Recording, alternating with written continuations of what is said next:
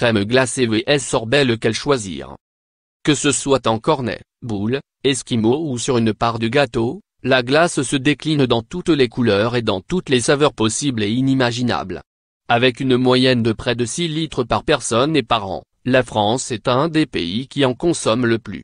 Derrière le terme générique de glace se cachent six catégories, les glaces à l'eau, les glaces, les glaces au lait, les crèmes glacées, les glaces aux fruits et les sorbets. On le fabrique en congelant un mélange d'eau, de sucre et de fruits.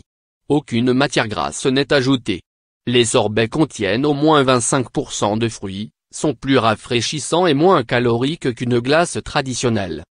Elle est obtenue par congélation d'un mélange de produits laitiers, lait, crème, beurre, de sucre, et d'arômes ou de fruits.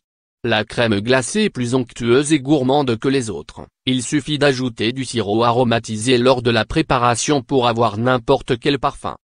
On l'obtient en congelant un mélange d'eau, de sucre et de jus de fruits.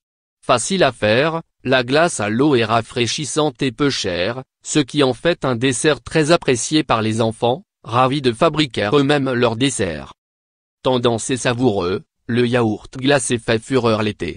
Dans ces glaces, le yaourt remplace la crème. Résultat Un dessert onctueux et surtout moins gras que la glace traditionnelle auquel on peut ajouter des fruits frais, des pépites de chocolat, du miel point. Alors, lequel vous tente le plus? À lire aussi.